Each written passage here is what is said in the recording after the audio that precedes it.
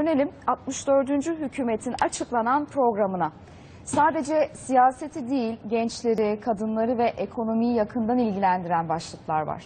Başbakan ekonomik vaatleri tek tek anlatmadı ama o vaatler 156 sayfalık hükümet programında yerini aldı.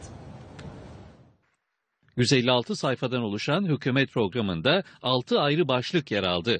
Meydanlarda verilen vaatler girdi programa. Yeni dönemde de ekonomide temel prensibimiz enflasyonun kalıcı bir biçimde düşük, tek haneli oranlara çekilmesidir. Öncelik ekonomik başlıklarda.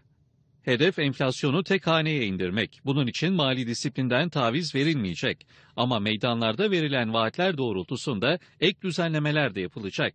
Asgari ücret 1300 lira olacak. Muhtarların maaşları 1300 liraya çıkacak.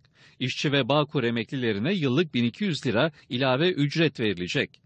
Polislerin maaşlarına da 240 ile 580 lira arasında zam yapılacak. Ayrıca TOKİ emeklilere ucuz konut yapmaya devam edecek. Programda gençler de unutulmadı. Ücretsiz internet, çeyiz hesabı gibi düzenlemeler hayata geçirilecek. Seçilme yaşı 18'e inecek.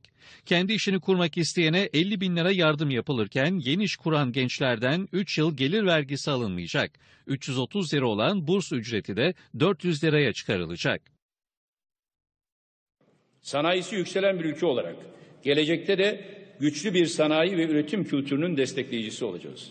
Önümüzdeki dönemde büyük çaplı ve yatırım niteliğindeki kamu alımlarında alıcı kurumların yerli sanayi geliştirecek yönde kamu alım sürecini yönetme kapasitesini geliştireceğiz.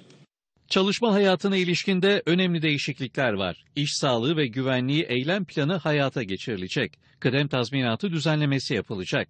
Çalışan anneler de unutulmadı. Anneler için çalışma saatleri okul saatleriyle uyumlu hale getirilecek. Çocuk teşviki de hayata geçecek.